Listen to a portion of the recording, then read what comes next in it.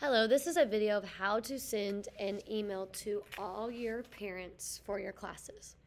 So when you go to your Infinite Campus home screen, the first thing you're going to do is click on Message Center.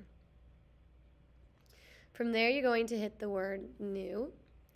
And then you don't have to change any of this. If you want to, you can, but for me personally, I just leave it like this. I scroll down and I type in the message of my subject. So as a secondary teacher, I always type um, seventh grade science.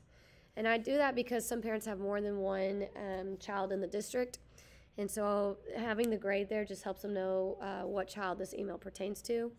And I always put the date that, um, that the email's for.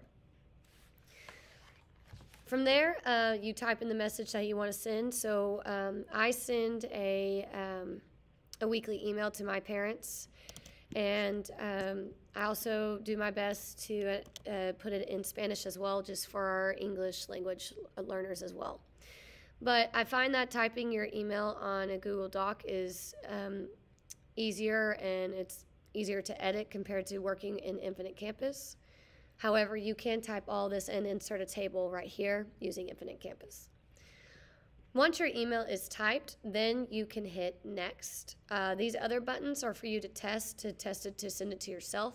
Honestly, I promise it works, so just click next. Now, we're going to be in quarter two. You're going to send it to all the classes that you want it to go to. And you're going to click Messenger Contacts, and I always send it to students as well.